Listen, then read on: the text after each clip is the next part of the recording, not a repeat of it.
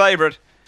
She's been uh, second at all her recent racing, and she is the fave. Light on. A dollar and eighty-five, Miss Jasmine, the inside runner. We're ready.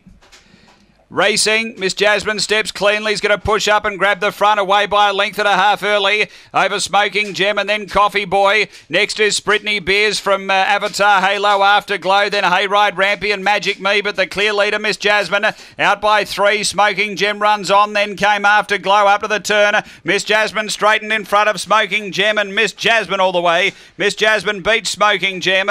Uh, third home Afterglow and fourth looks to be Hayride Rampy from Avatar Halo Coffee. Boy, Magic Me, and Spritney Beers. The time here is around 23 seconds. After the running of race number nine, and uh, Miss Jasmine tightened up on the UBET tote in the end to a dollar and sixty. Uh, numbers are one, three, five, and eight. Number one, Miss Jasmine, Tony Rasmussen, Sam Watson, a white and black bitch, June 2015. Cosmic Chief, she's a blaze. Number one, uh, second to three, Smoking Gem, Anthony Fry. Uh, Black Dog, March 2014, Smoke Home, Special Gem.